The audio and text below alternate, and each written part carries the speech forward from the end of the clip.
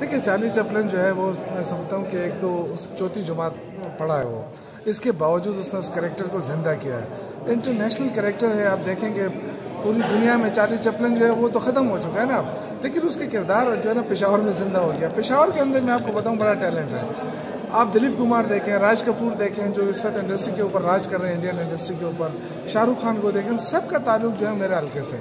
जो पिछला मेरा हल्का था, पिशावर का, वहाँ वहाँ से उनका ताल्लुक है। और ये भी मेरे हल्के से है।